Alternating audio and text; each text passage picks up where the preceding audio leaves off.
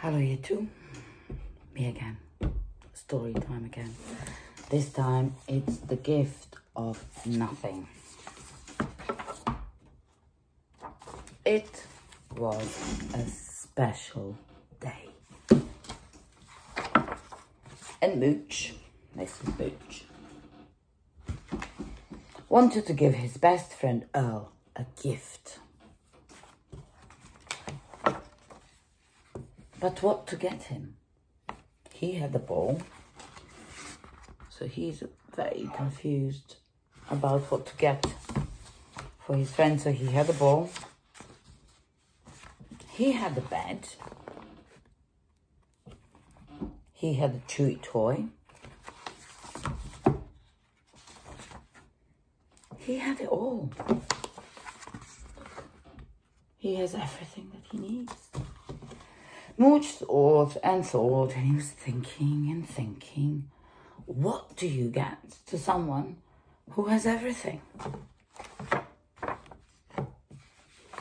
He's still very, very puzzled about what to give to someone who has everything. And then he worked it out. Nothing. He would give Earl the gift of nothing. There we are. Really happy he worked it out. It's that good feeling when you know exactly what you want to give someone. But in this world filled with so many somethings, where could he find nothing?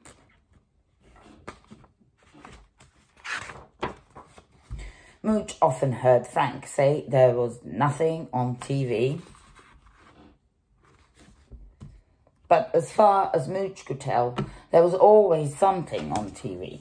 There's all this blah, blah, blah going on.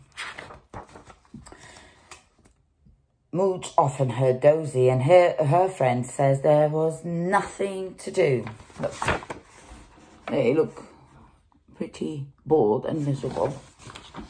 But as far as Mooch could tell, everybody was always doing something. Millie came home. Ooh, sorry. Millie came home from the store and said there was nothing to buy. Perfect, yeah? There we are. So Mooch went shopping. There he is, going all the way to the shops to get nothing. So there he is. Look, lots of some things.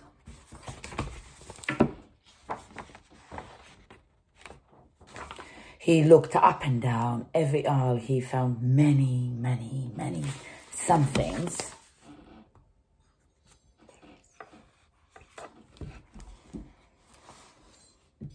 The latest this, the newest that.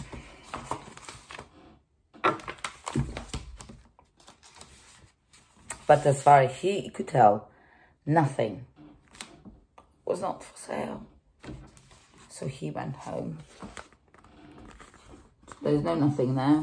And look, how do you think he's feeling?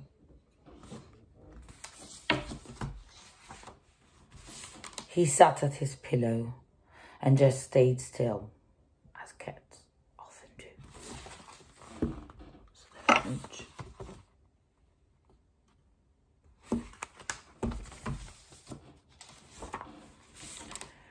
and not looking for it, he found nothing.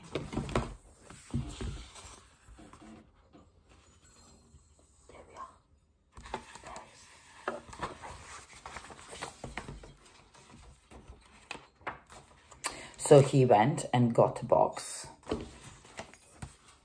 and he put nothing in the box. Then Mooch thought, hmm, maybe Earl, Earl deserves more than this. So he got a bigger box to put bigger nothing in the box. Now, there is plenty of nothing. And so there is happy with his big box